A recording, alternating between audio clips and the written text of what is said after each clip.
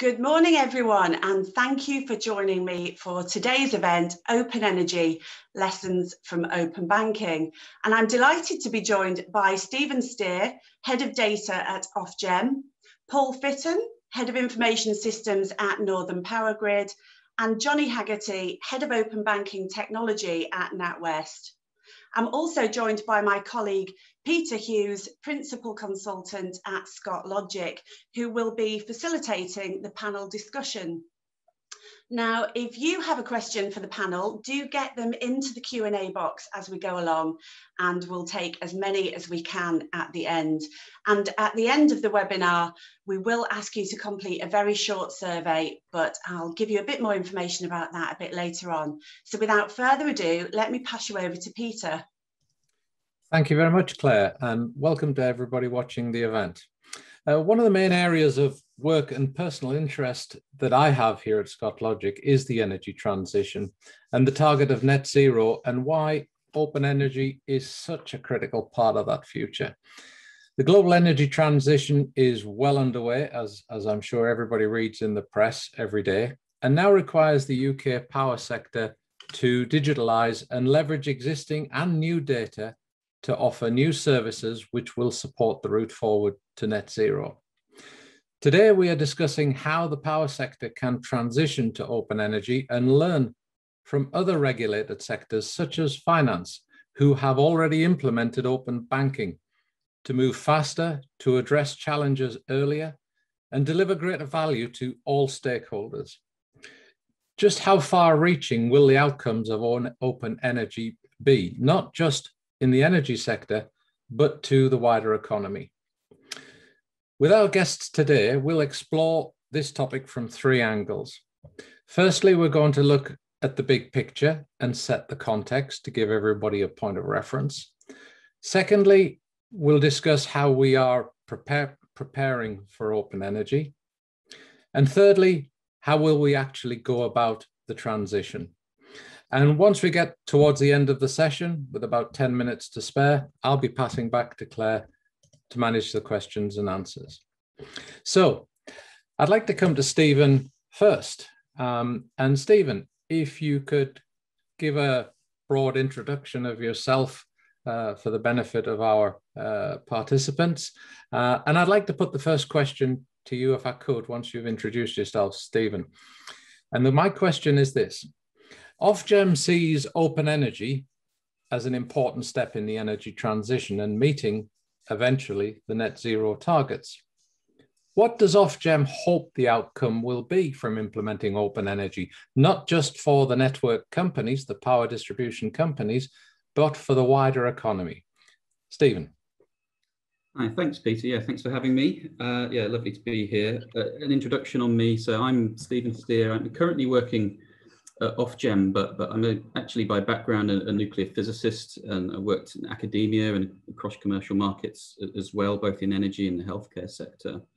Um, but yes, I've been at the regulator for about five years now, um, and and most of that time has been spent on this agenda, which has been brilliant and really gratifying. And it's really nice to see how far it's come. Actually, if you you you draw comparison to the way the energy sector talked about data just a few years ago to the way it does today, um, there's already been tremendous uh, progress and, and, change, which is really good for the direction of travel and the future, which is what you asked me about. So let's let's start talking about that. Uh, so there are, there are there really are some tremendous opportunities and benefits for for putting data to proper use and treating it like the asset that it is for society. Uh, I think one of the things, and you pointed to it in your question, which is really appreciated actually, that um, uh, assets don't just have one user or one beneficiary. So it's very, it's been very easy to think traditionally of the energy sector that we need to put the energy system to use for the benefit of energy consumers, and that is very important. And it, you know, it slots together with big picture challenges like obviously net zero, but also just improving the quality of energy services for people and making sure people are out of fuel poverty and these kinds of topics. But there are many applications for that asset, and that really works in the data and digital space that you can reuse those assets many times over, and, and you can build up a whole ecosystem of really wonderful products and services wrapped around those fundamental assets. And it is quite a fundamental asset in the case of the energy system. We've, we've only got one for the country and anywhere you are, you've only got access to one type of energy system for you. And that makes it something that everybody needs to work with and share. And, and so by treating it as open, uh, it's the same way, I, I like the analogy of um, uh, the right to roam about throughout through our, our national land over it's, it's got the Scottish right to roam because it's really important that our economy, our people are able to have the right to roam through our national energy system and take advantage of it and use it. And that really speaks to strong uh, cross-sectoral opportunities about integrating use of data uh, that other markets can take advantage of or to, to, or to join the markets together and use, you know, to, to have, say, an overall infrastructure view of how data is taken advantage of, or to give people at home uh, you know, a joined up picture of all the different services that come into their property, or to make sure that the transport sector, as it interlinks uh, with the energy sector as we move to an electric vehicle fleet, uh, are able to work together in harmony. And it's that, that, that harmony is really important. And the fact that we only have one is really precious um, it means we all need to work together on it. And that means, in the first instance, just all having visibility and access to it to be able to start those new markets uh, rolling uh, for the prosperity of the country. Great. I, I really like that analogy, the right to roam. Um, if I can just come over now to Paul, um, and you are the person who actually is the landowner by the sounds of that analogy, Paul. Paul, if you could just give us a little bit of introduction of your role within Northern Powergrid um, and I'd like to put the question to you as, as Northern Powergrid prepares to implement open energy through your digitalization strategy, which has been published, um, what do you expect to be the opportunities and challenges ahead? And where do you expect to see the greatest value? Yeah, sure. Uh, thanks, Peter. And, and yes, you're right. I suppose I am the, the landowner. I'm proud to own the land that happens to be some of the, the prettiest, in my opinion in uh, in the UK. Um, so yeah, Paul Fitton, head of information systems for Northern Powergrid. So we cover uh, we're, we're, the DNO distributed network operator for um, the northeastern Yorkshire region. Um, I've been with Northern Powergrid for about three years now. Um, so you know, joining at a, at a, really really interesting time as this agenda comes to the floor, and uh, you know, picking up on on Steven's point there around you know how how that change and that that difference of of where the utility sector has been to where it's going to. You know, I, I feel as though I've kind of been dropped in almost right at that point of transition. So it, has been a really interesting first three years, uh, and certainly a, a, lot more to come. But yeah, so pre, prior to that, uh, similar to Steven, as much as having kind of no connection to the utility sector, uh, I came from a, a, a, very different but quite similar in terms of an asset heavy industry in the in the housing sector. Um, prior to that, working across some some various different uh, businesses before then. But yeah, so so to answer your question, um, yeah, the, I guess the, the major opportunity for Northern Powergrid is that we we can help shape that discussion in that direction of how our regions and stakeholders will support that move to net zero and the value um, that that brings. I think is is the opportunity for us to work with that wider um, community in doing so at the lowest possible cost. So, you know, our, our vision, if you like, is, is for our network to evolve into um, a, a, trusted, sort of neutral platform able to facilitate that uh, optimization of our region's energy systems, um, minimize the need for new infrastructure, make the best use of low carbon generation and minimize the need for expensive dedicated storage and high carbon generation. So all of which has that underpinning need for better data, better analysis, but, but equally for that data to be open to all. So embracing the, the open uh, angle is one that, that, that we recognize is, is absolutely critical, but is also a part of that challenge. Um, because let's be honest, it, it's not where we've come from. You know, it's not ingrained in our in in our psyche, in our uh, approach to to uh, data in general. You know, we're, uh, we're very much asset rich, and and therefore commit a lot of resource, time, and effort to managing those assets and having data rich um, facilities around those assets themselves. But getting digital right and getting that digitalization transition right will require changes, um, I suppose, to the way our, our business operates, the model in which it operates, but also, and I think this is probably the, the biggest aspect to our culture. Um, so, so we know we, we, we have a, a, gap to cover there. We're getting to ground on on putting forward some sort of initial steps on that now, um, and I think you know um, taking this in an agile way, doing this in iterations is going to be the way to to, to crack this. It, it isn't big bang. We're not going to get to a certain point and and you know we'll have we'll have done this. You know, open data is achieved. Um, I think this will be a continuation for many many years to come. And for us now, it's about starting that journey. And you know, I, I suppose I really like the term um, "build it and they will come."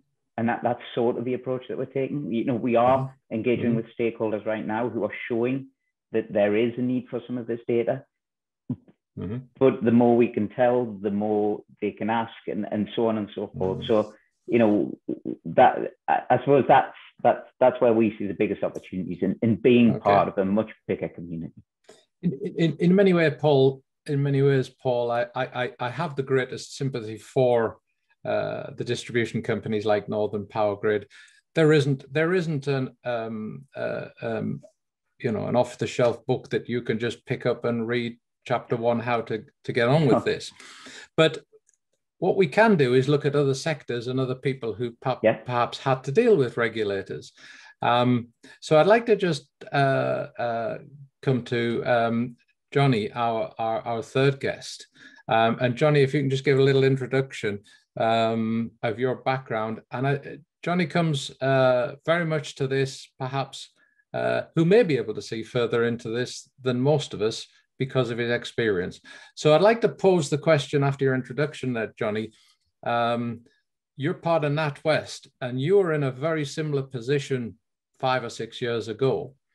How would you describe NatWest's journey as it went from perceiving open data in the open banking initiative from, from a regulatory compliance requirement to seeing it as much more than that, as, as an opportunity for NatWest. So, uh, Johnny. Yeah, sure. Thanks for uh, having me along, Peter. Um, I think you might have just given me a book idea, but I'm not sure if I could squeeze on to Paul's perfect shelves. Um, so yeah, I'm Johnny. I run the API platform here at NatWest Group, one of the uh, big banks in the UK, as most people will know. Um, that really includes three things. Um, it includes the foundations um, for teams around the bank to build APIs on top of.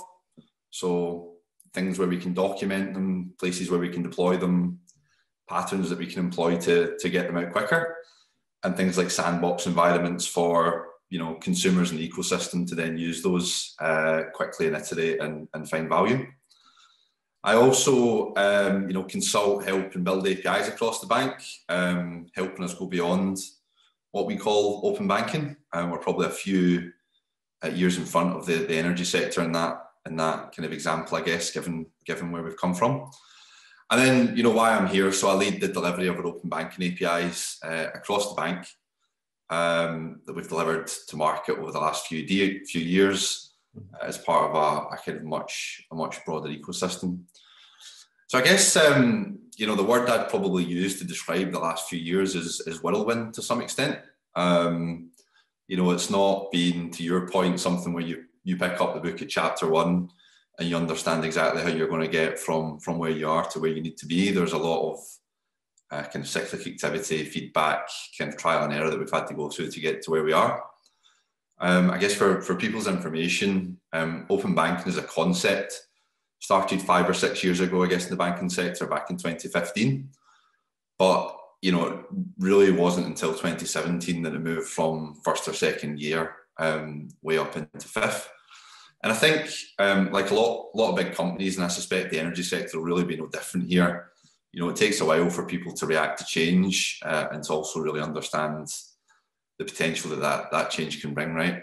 Um, we started from from a standing start. You know, we started in a fairly typical mindset. You know, we were a, a program, for want of a better word, of people that were assembled into a central place to go and deliver against this this mandate. I think it's fair to say that the people, um, you know, at the centre of that program program saw it much, much as much more than that. You know, from day one, they saw it really as a, a platform and a capability that we could anchor, um, you know, innovation and future success from. but I think it's very fair to say that, that that wasn't true for people outside the team, right? I mean, they just saw it as another thing that they had to react to, another thing that they had to contribute some some milestone to, etc. Um, so to that point, you know, we had to work hard. We had to break, break a lot of um, delivery mindsets and incumbent behaviours. Shed a few tears along the way to get our first set of APIs out the door in 2018. And I think the bank as a whole has really kind of gone onwards and, and upwards from that point. Um, we've really grasped the, the opportunities the broader ecosystem has presented, not just externally in the, the external ecosystem, albeit, you know, I wouldn't separate the, the external ecosystem's value from the value that you can realize internally. But we've seen massive value internally as well. Um, you know, there's a real realization and a reality that, that we as a bank aren't the, the origin of all great ideas. And frankly, even if we were the origin of all great ideas, we would never be able to, to build them all. Um, so, uh, you know, it's, it's great to be part of that ecosystem. And, and to that point, I guess, you know, what we've really realized is that, you know, in an ecosystem play, the success of the ecosystem is really based on the whole ecosystem growing. It's not based on one or two individual players or companies being wildly more successful than others. You know, as everyone grows, uh, the whole the whole ecosystem grows. Um, so a couple of points internally and externally, and then I'll, I'll play it back to Open Energy, um, and we can move on to some questions, I guess. But we've onboarded, you know, a couple of hundred um, financial institutions now. So that's people that are delivering value um, for our joint customer set.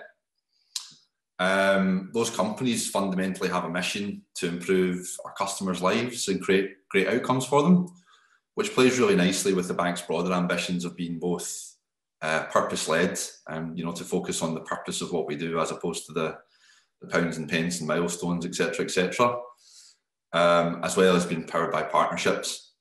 And I think the thing that's often missed with this this opportunity is that internally um, we've started to see real benefit as well. You know, a lot of the conversations that we have as technologists in the bank, they're centered around how do I connect to your platform to get this data, and that's an API-based conversation, right? And only you know one, two, three years ago, that was a Gantt chart conversation. You know, it was about how do I get onto your backlog? How do I make myself more important than the other person? You know, how can I convince you that the, the thing that I want to do is more important than anyone else? You know, now we see people consuming data from teams around the bank without even speaking to them. You know, I've, I've seen several examples in the last few months where people have presented working propositions that are ready to go to customers that I never even knew they were building, right? And that's mm. that's a really pleasant surprise, and you know, it's something that uh, you know really you know brings me to work every day. And then the last thing I'd say is, is that you know I really hope that as the, the energy sector reflects in on the open banking space, you know you can look at it and you can actually see the tangible reality it, it brings. Right? I mean, what what you guys are doing in the open energy space, I, I don't think it's just an educated guess or a theory or a bet anymore. You can touch and feel something that's been on this journey that has proven success with it. Um, uh, and you know it's something that will, will really move the sector forward. I think. Great, good. I like the comment there. Powered by partnerships, and if we just move the conversation to looking at how we prepare for open energy, I I think Steven, the regulator, has to be the ultimate partner and the person who seeds this. And if you're accountable, Steven, for forming the future of the power sector, how are you helping everybody to get up to the start line, understanding Paul's earlier comment that, you know, we're just, that's not where we are at the moment. So you as the, the first partner of the power sector, as the regulator, Steven, um, how are you helping these companies get up to the start lines for these open data aspirations? Yeah, okay, thank you. Um, I mean, if I can comment on the question a little bit first, but yes, I will, I will answer it. I think so uh, I, I, find it really helpful to draw parallels and analogy, and, and, I feel the, the gravity of the undertaking of digitalizing the energy sector is, is, is at least in the same ballpark of complexity as when the, when the physical energy system was first built, right? But that was 100 years or so ago, not quite. But the, there were some really important asymmetries. Uh, and back then, there was a central ownership model in place for the energy system. Uh, we live in a world today of a federated ownership model And what's more, we've come from a place where there were one or 200 power generators total across the whole country and a very downway onward stream, one, one directional stream for the use of, uh, of power and gas. Um, we're now, we already have millions of assets and back and forth multi-directional uh, use of the system.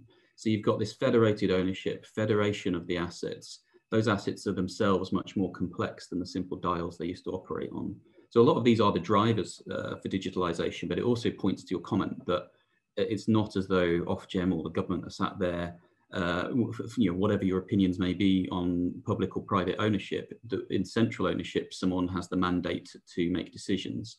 We all really do need to work in partnership because, because no one entity has ownership or responsibility for the energy system that we share among us today. So Ofgem, yes, plays a role in that. I'm not even sure I would call it first among them, but yet we do have a, a certain USP of being able to convene and help coordinate. And given that federated ownership, it is critical that we do just that. And that's been the thrust of a lot of our work to date, and I'm sure it will continue to be so. Uh, we've taken a multi-pronged approach about uh, ensuring leadership and communication. Even opportunities like this are, are small tidbits opportunities to help raise awareness uh, but we've also backed up the leadership and expectations from things like our energy data task force work, um, but to um, to also move into like regulations and make sure that it's not just uh, hot air, but they're actually doing it. And we're at the point now where we do have regulations that are taking shape around expectations on the use of data and how digital services need to be delivered.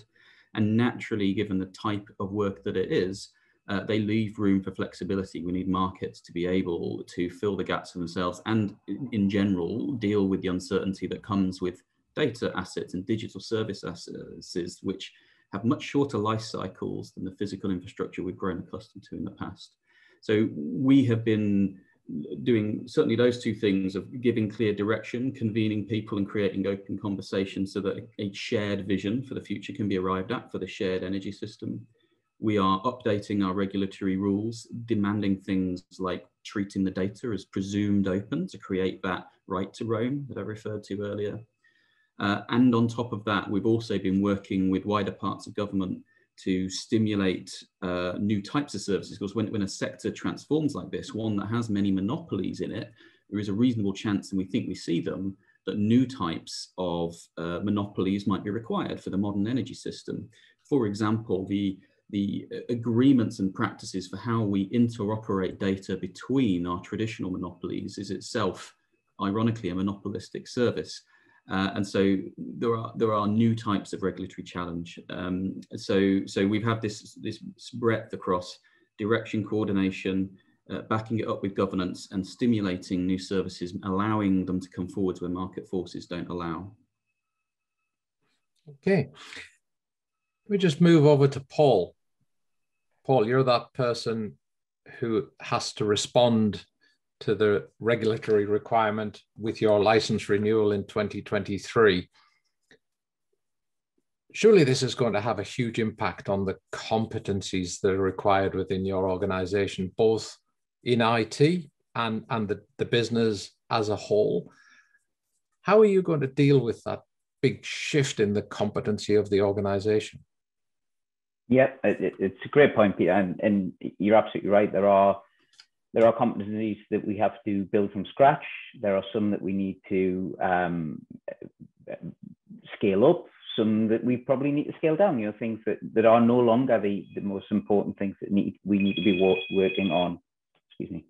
Um, but yeah, I suppose the, the way that we're addressing this is, is similar to what I described before, you know, agile in more than just the project sense. You know, we, we need to be better at, at taking little and and small, but many of them steps towards these these future goals. So, you know, we we, we see that embracing the open energy uh, agenda uh, underpinned by data and digitalization, it, it will change our business in both the IT and the core business perspective. And, and in particular, the areas where we're trying to focus are in that people and culture space and how we will, in particular, attract and retain new talent that, that supports this digital journey uh, and data skills, whilst retraining our current colleagues to operate in that new world as well. Because, you know, we're talking about delivering you know, data at the point of need for, for our internal colleagues as well as our, our, our external stakeholders. So, you know, we're, we're being very uh, focused on making sure,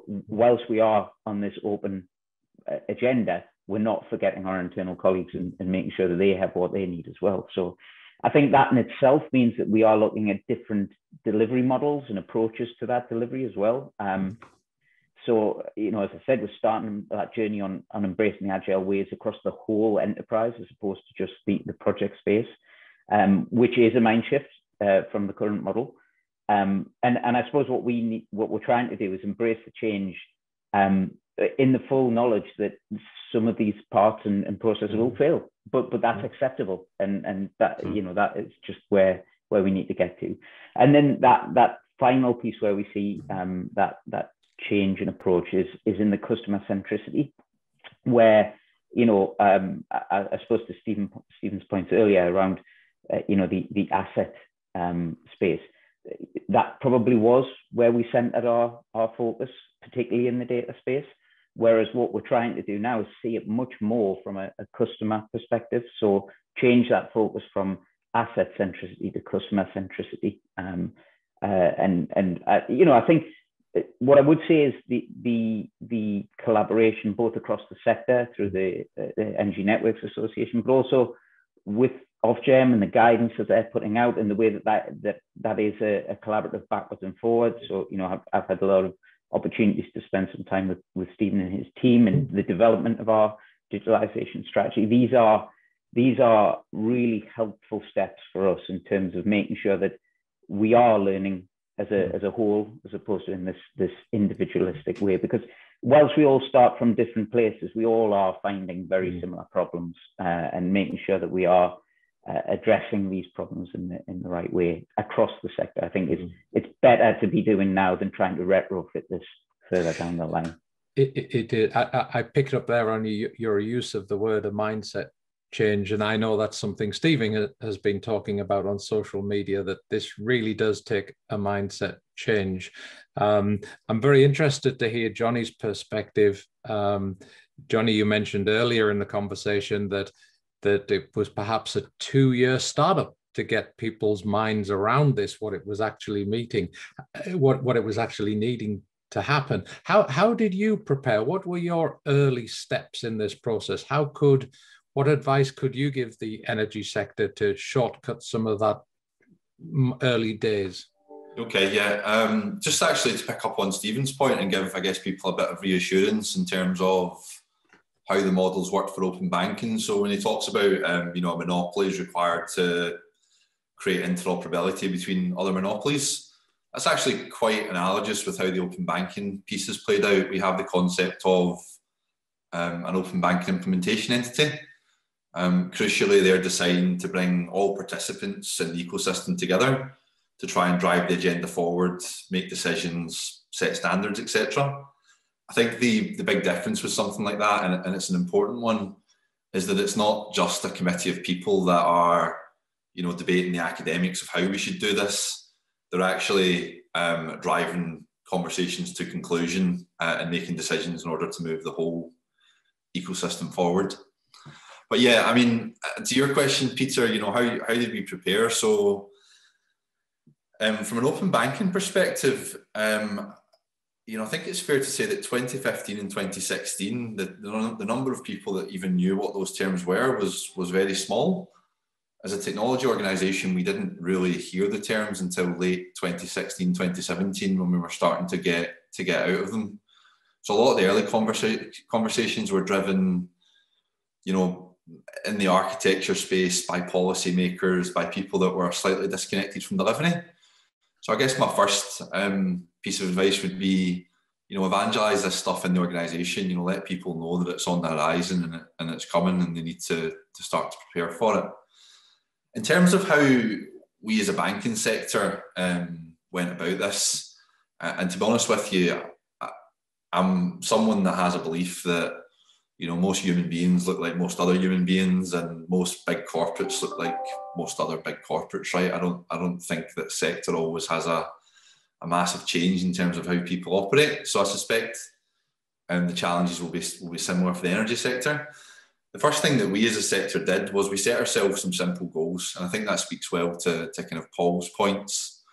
The first simple goal that we set was can we deliver um, a set of customer agnostic um, static data APIs that would let people um, you know see some really frankly naughty things, some some rather uninteresting things.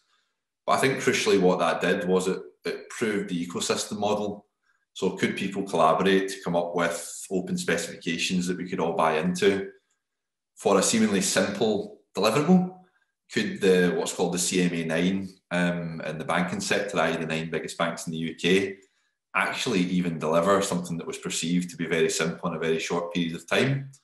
So kind of getting out the starting blocks with something that was simple that did kind of get the wheels greased and allowed people to to deliver quickly, I think I think was quite important. Um, again, to set the scene, and I'm sure some people will be aware of the, the kind of of NatWest, but NatWest is a bank. You know, we have multiple brands that make up NatWest, uh, and across those brands, we serve multiple customer segments.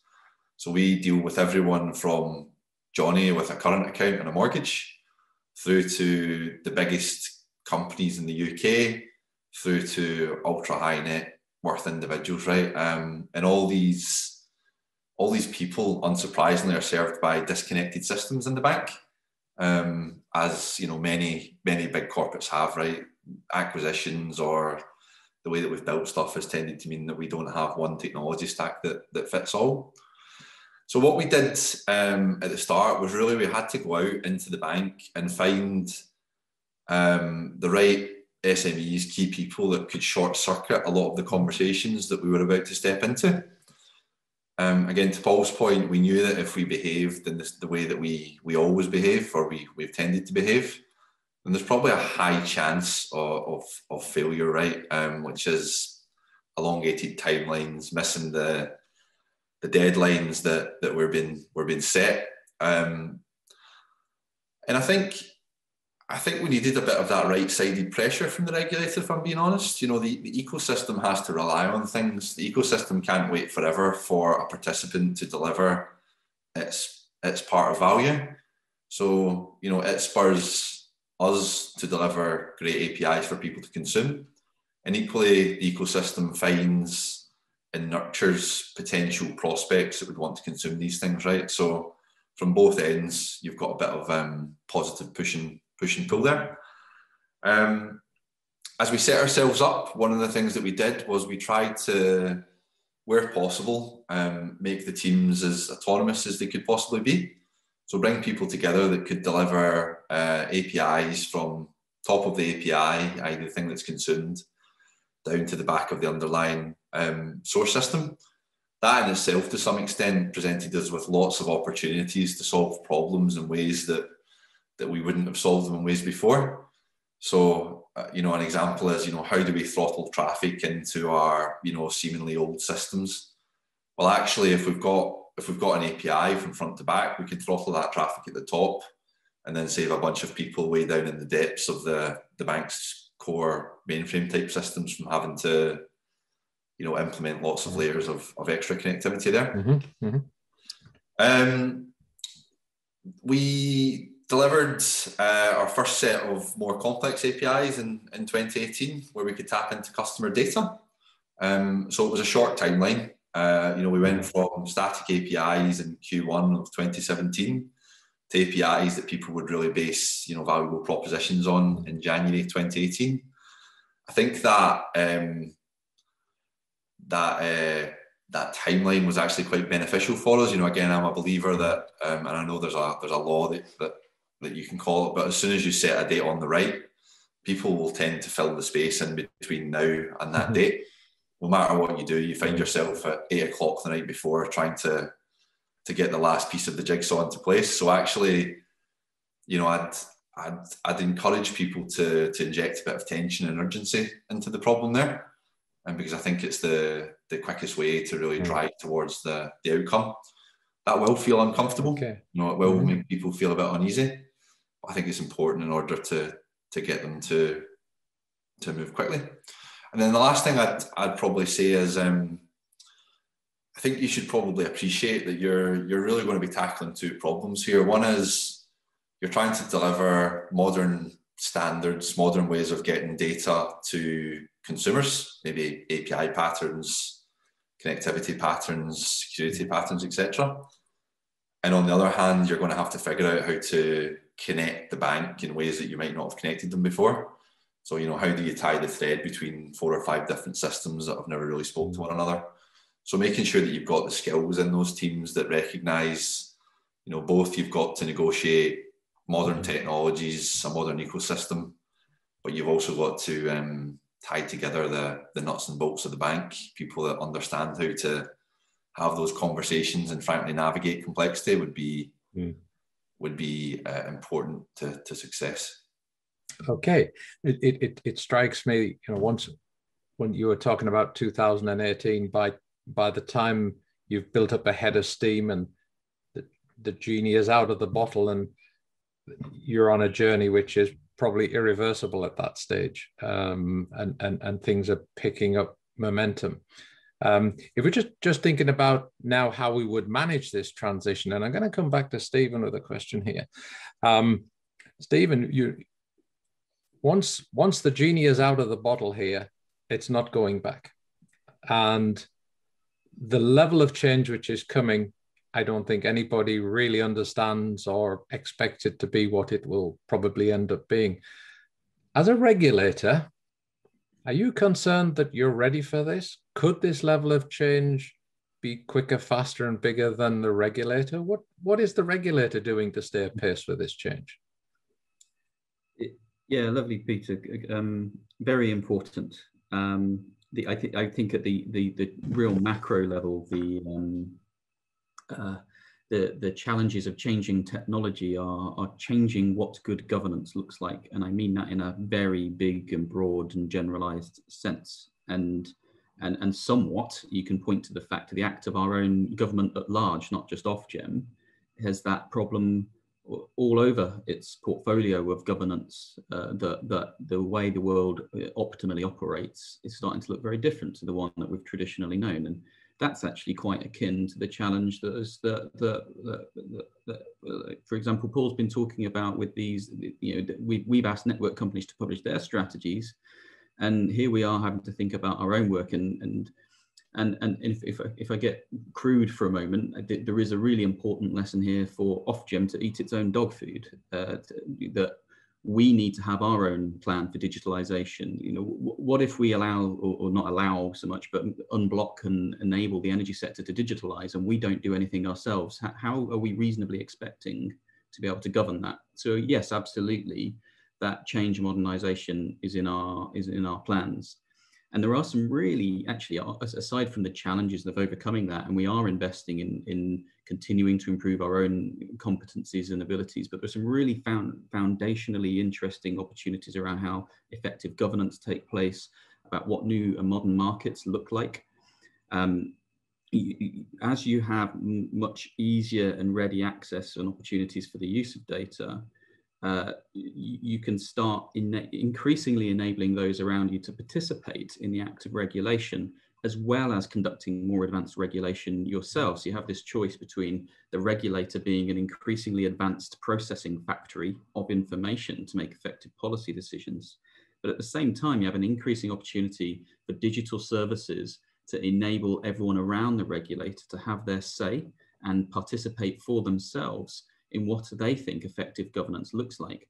And of course, some of the practical avenues for this are things like the digitization of uh, governing codes and licenses and information, uh, but also other sides of things that I think are really important and where a lot of new markets could arise actually is around, uh, if you like, the data pipeline is the common language in, in, in the in the sector, but the the act, the end-to-end processing of the data, not just the raw data itself, the starting asset, but all of the, the, the changes and modifications and, and uh, edits that you make to it through all your software mm. scripts and such to get to your endpoint, that whole process is itself a wonderfully interesting and complex supply chain and one in which uh, certainly when it comes to policy making is, is our bread and butter. We're, you know, we pull in information and we make decisions. Mm. That's what we do. Actually looks quite like a system operator in that regard, which I think is an interesting analogy.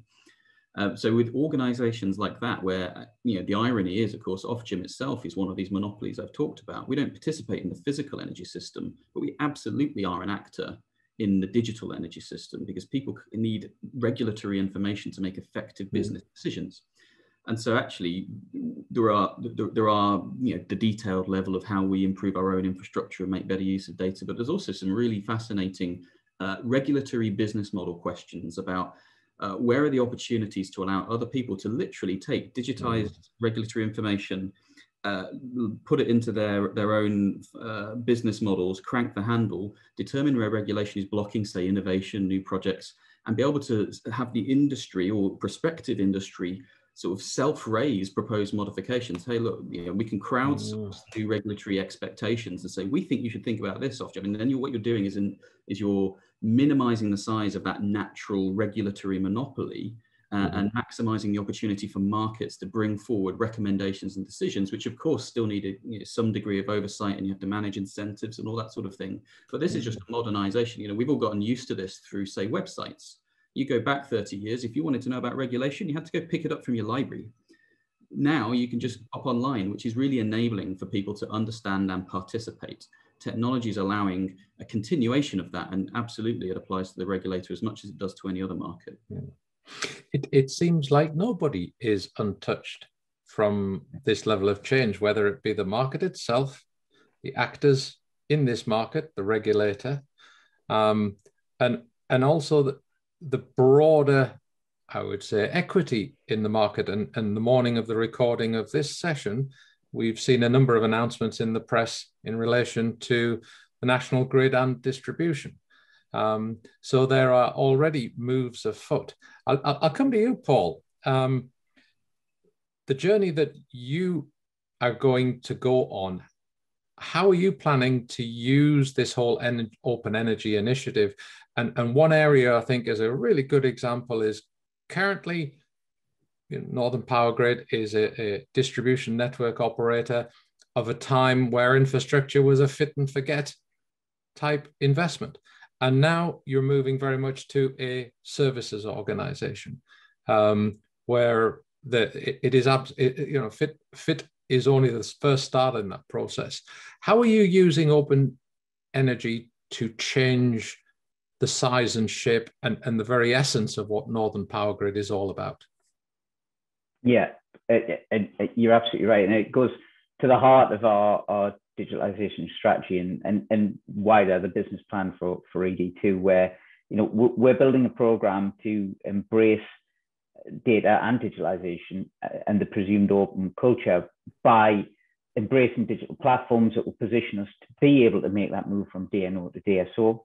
Um, and and we we recognize that it will kind of shift the balance from these things being um, not afterthoughts, but but you know, as you said, you know, fit and forget will be a thing of the past because for every fit that you would do, there is that aspect of what is the wider service aspect, what is the data products and services go along with this, and how does that feed into our wider market?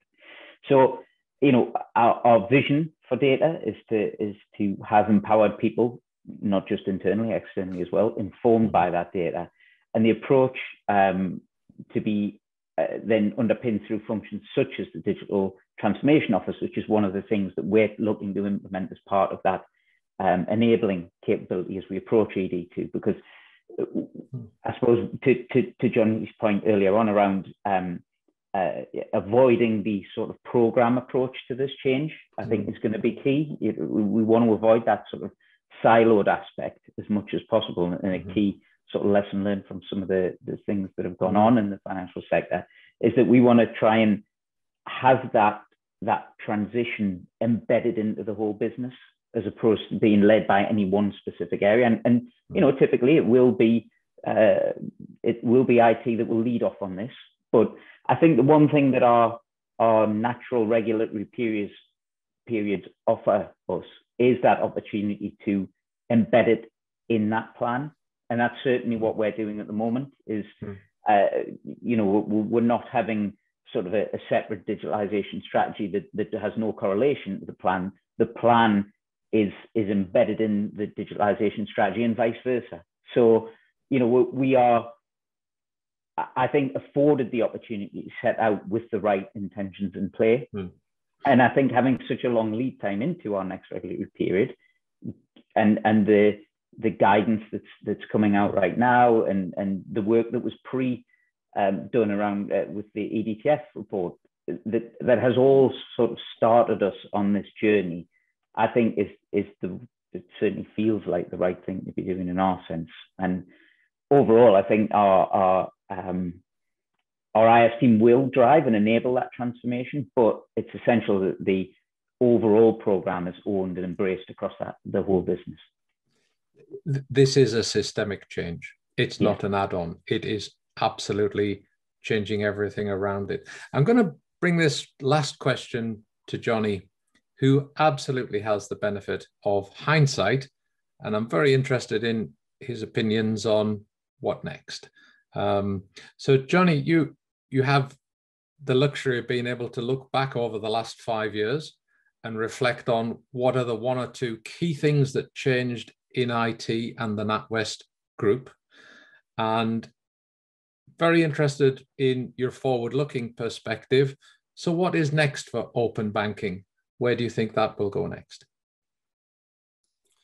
Yeah. Um, so I guess on the first the first half of that question, I touched on it uh, briefly before. So, you know, we were an organisation, and you know, we still have pockets of it um, that depended on project management, Gantt charts, priority calls, you know, the stitching together of fairly complex networks of dependencies to actually realise value you know, the, the real transition and it's tangible and touchable now is that, you know, we talk about being a connected bank inside inside the bank. Um, and that kind of comes across in how people interact with one another now. So it's not about uh, getting into people's backlogs or, you know, figuring out how to get access to some bespoke piece of data.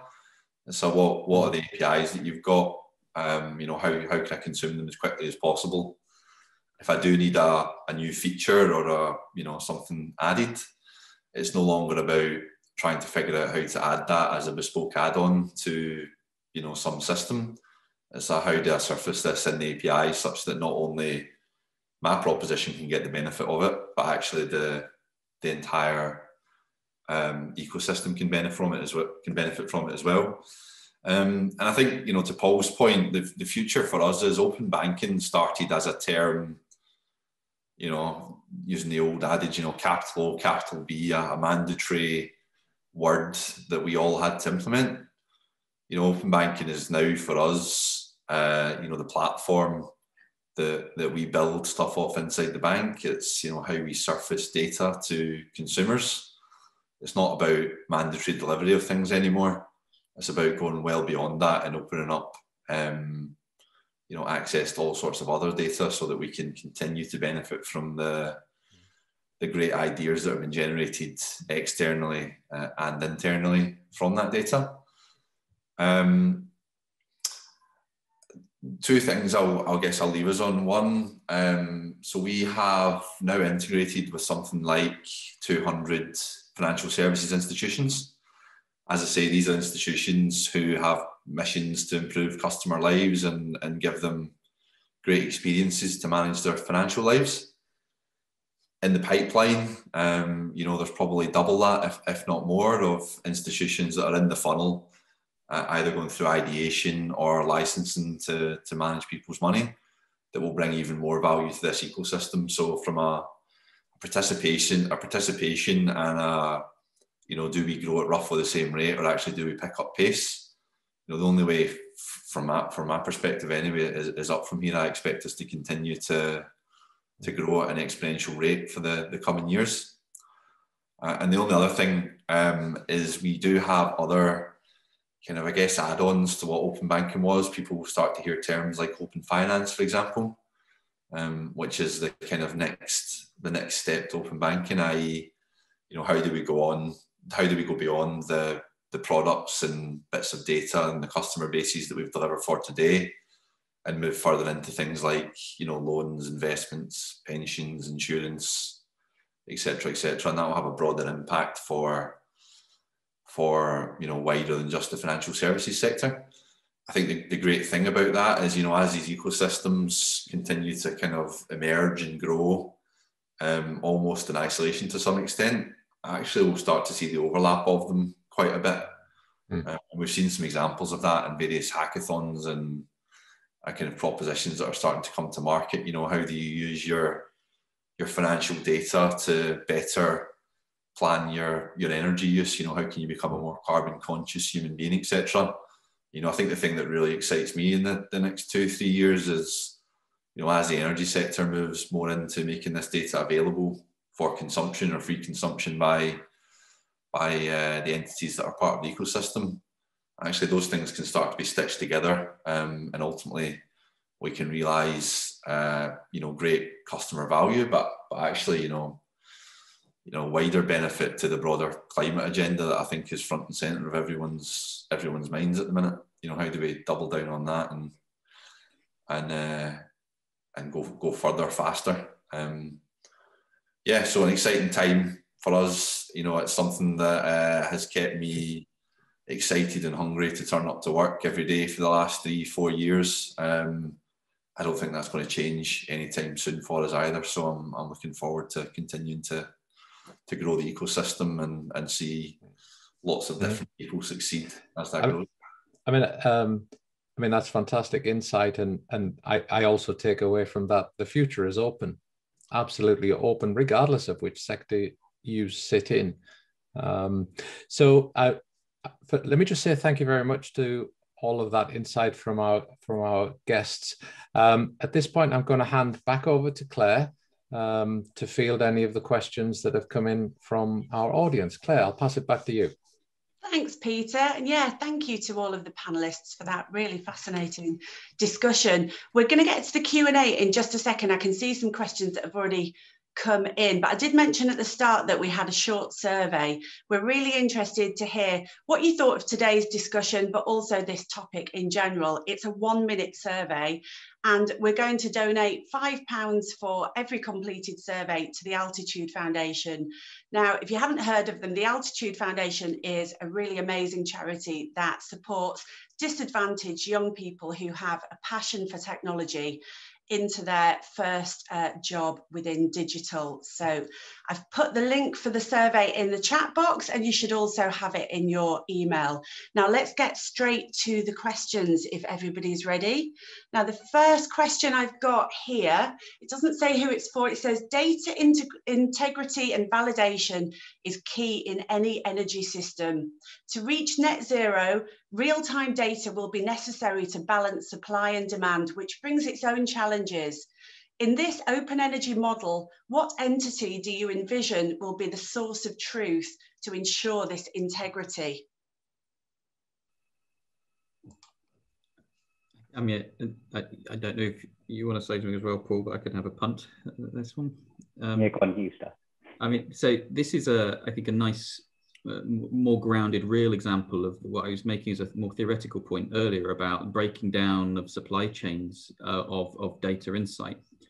Um, so there's a, when it comes to single source of truth, there's something that makes sense at the very start of the supply chain. It's just about surfacing the data in the first instance before you do anything to it, where the information will be mostly guided by just literal physics about, about the nature of, of what's happening on the energy system.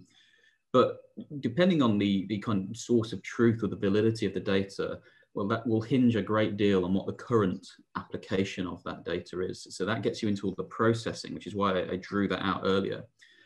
And actually, there's quite a mixed bag of options here that I don't think there'll just be one solution for everything. I, am optimistic that when we talk about new digital markets in the general sense, this is an expression of one such thing, where actually, if the basic data is available to everybody, then you're creating space for business models to come forwards whose very job it is, is to validate the use and applications of information and allow markets to solve the problem there may well be instances where there are fairly high barriers to those market forces, maybe a high reliance on the tacit knowledge uh, that, that an organization that produces the data uh, might have, where it's just not practical to let market forces run forwards. And in, that, in those cases, then sure, you might need to start picking out entities which either directly have accountability for that work or where you might find that there's more mediating entities that have a kind of recognized independence I don't think it's a single answer question, but I do think it's a really interesting insight into the opportunities for new types of jobs that people might do that we're not accustomed to them doing uh, in the world that we've come from.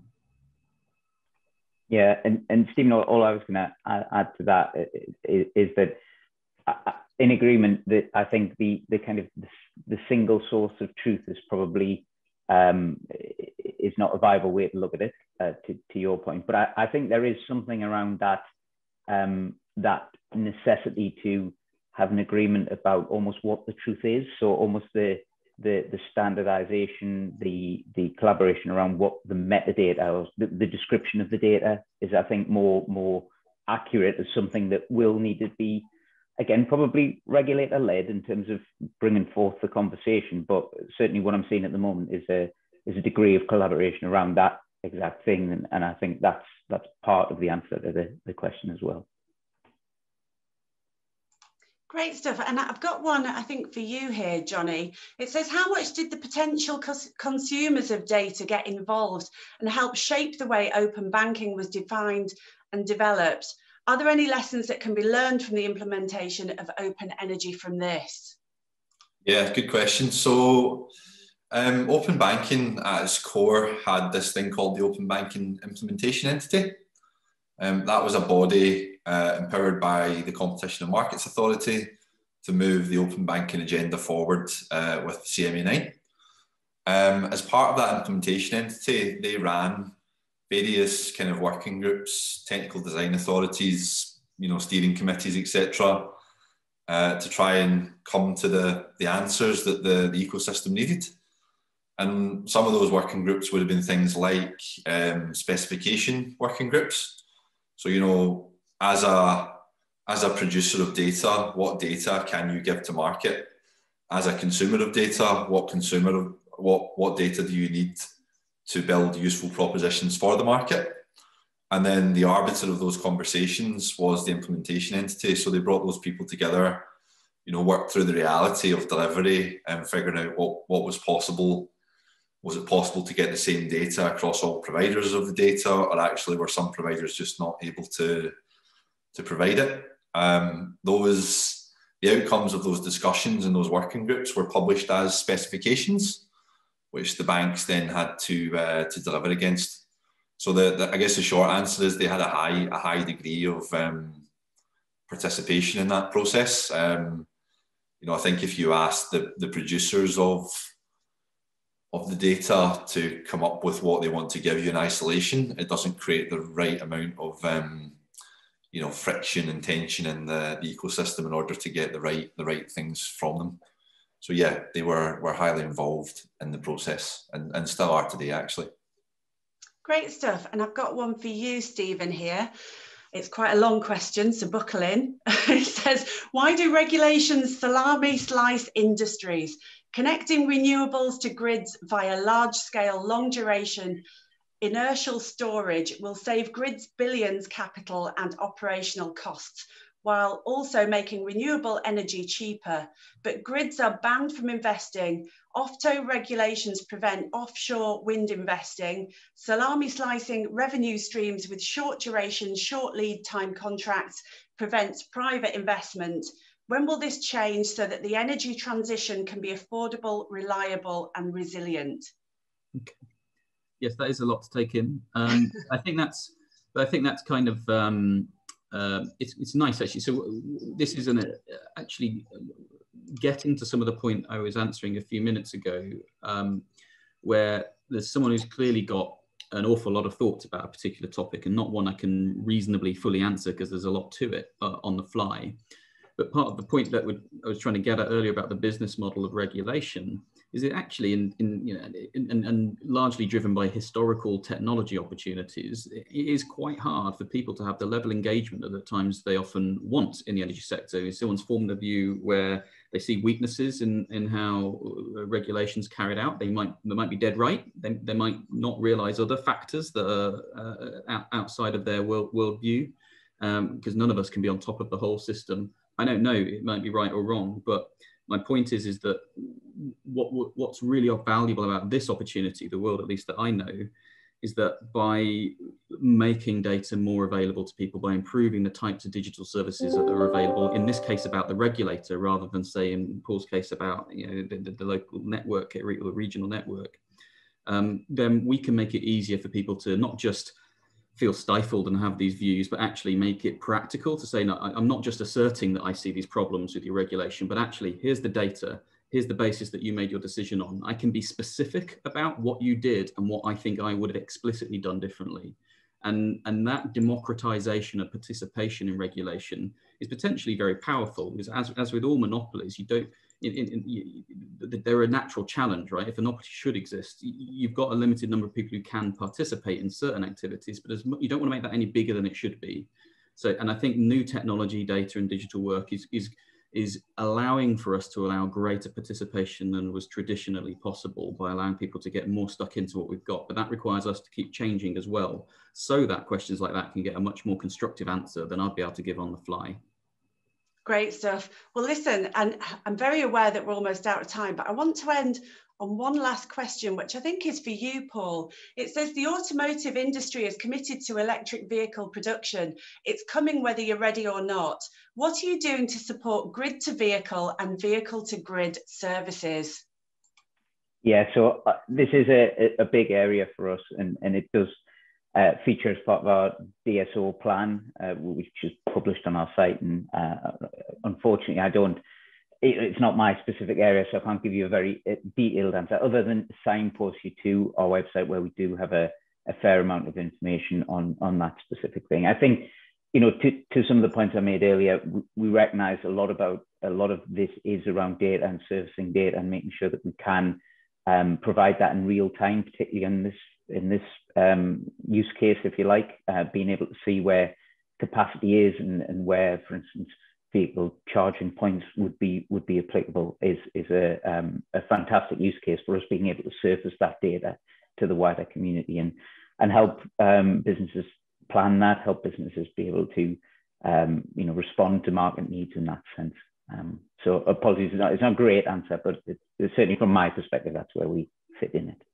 No, that's great. And that is all we've got time for today. So, all that leaves me to say is thank you so much to all of our panelists today. We really appreciate you taking the time to come and, and speak to us all. And thank you to everyone who, uh, who dialed in today and who joined, and to you, Peter, for facilitating the discussion. So, uh, that's all from us. Hope you all enjoy the rest of your day and bye for now.